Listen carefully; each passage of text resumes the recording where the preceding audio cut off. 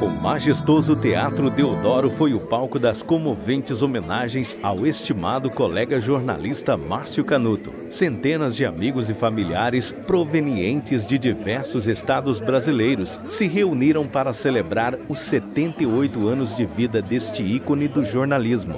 Foi uma ocasião verdadeiramente especial, destacada pelo esplendor das grandes atrações e pela presença de profissionais renomados, além da singularidade que Canuto sempre incorpora. Seu humor, seu talento teatral e sua alegria contagiante. Durante o evento, tive o privilégio de reencontrar velhos amigos como Luiz Amorim, superintendente da organização Arnon de Melo. Você, Márcio, fez história.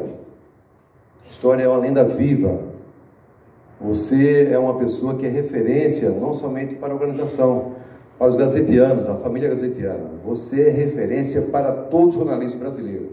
Parabéns e ficamos envaidecidos em poder ter esse momento e proporcionar isso para você, para sua família, para os amigos, os colegas que estão aqui lhe prestigiando. Parabéns, viu? Muito obrigado. Diz aqui a placa, generosa como sempre, que a organização Anão de Melo homenageia o jornalista Márcio Canuto, que por acaso sou eu, entendeu? Pela sua importante contribuição ao Senado da comunicação do país, elevando o nome de Alagoas no jornalismo nacional.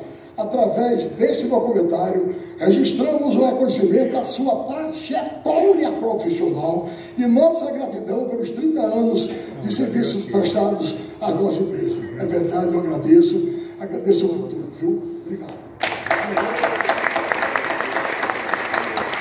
Momentos marcantes tanto na esfera profissional quanto pessoal. Entre eles, destaco Francisco José, repórter da Rede Globo de televisão, e a jornalista Beatriz Castro, que compartilharam comigo esse momento de reconexão com o Canuto, recordamos passagens memoráveis da televisão, como a primeira reportagem colorida de Francisco José em vídeo para o Jornal Nacional. Durante as homenagens, testemunhei a belíssima interpretação do hino nacional pelo talentoso cantor Cláudio Rios. Brasil, sonho intenso, raio vivo, de amor e de esperança a terra desce. Sem teu formoso céu de sonho límpido, a imagem do cruzeiro gigante pela própria natureza. És bela e forte, pávido colosso, se teu futuro espelha essa grandeza, terra adorada.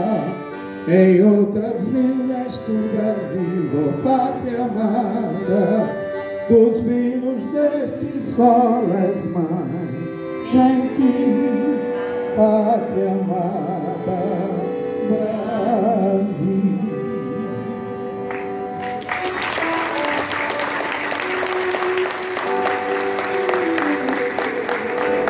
ao assistir ao documentário de duas horas, repleto de depoimentos de grandes nomes do rádio e da televisão, reafirmei o quanto é gratificante fazer parte da equipe de profissionais que contribuíram para transformar Márcio Canuto, um dos mais queridos repórteres, capaz de levar alegria às massas brasileiras por meio de suas reportagens marcantes.